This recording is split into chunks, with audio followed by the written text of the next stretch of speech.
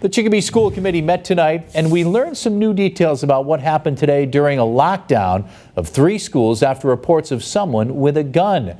Western Mass News reporter James Villalobos was the only local media member at that meeting and he joins us now in studio with more on what was discussed. James. Chris, we now know that there was never any gun at the Chicopee Academy and it ended up just being a stapler.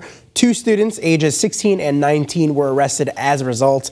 And while it was a false alarm, school committee members say protocol was followed to a T today. This was the scene outside Chicopee Academy Wednesday morning after concerns of an armed person being on the campus.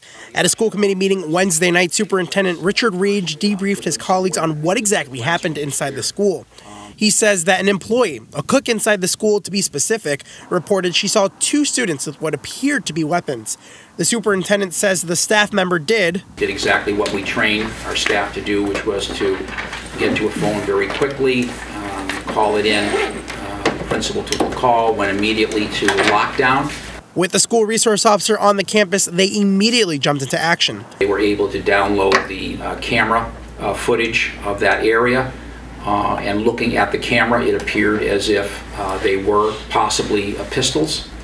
Uh, and at that time, the uh, all call went out, and that's when we had full response from everybody, state police, local. After further investigation by all those agencies? As it turned out, there were no weapons. Uh, these were kids fooling around. They had taken staplers and unfolded the stapler so that they were long. They had them hid uh, in some type of cloth so that they could only see on the video the snub nose of the stapler, so it looked very much like uh, a gun, and they were holding it as if it were a gun, and they were going to shoot. But today, school officials are thankful that no one was harmed and everyone responded as needed. That's why we do as many drills as we do, and sometimes, you know, we get complaints from parents, well, geez, an, another drill? And, and we say yes, because you, you want those drills to almost become muscle memory, where there's almost no thought involved. When they hear those words, they know exactly what they're expected to do. Public safety is our top priority when it comes to everybody. I'm talking about teachers, faculty, students, our first responders, and it was just so well handled, managed,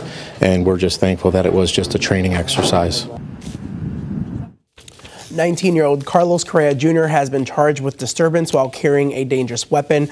We're told that a 16 year old student will face similar charges. In the meantime, the school and police department will be holding their own briefing in the coming days. James Villalobos, Western Mass News.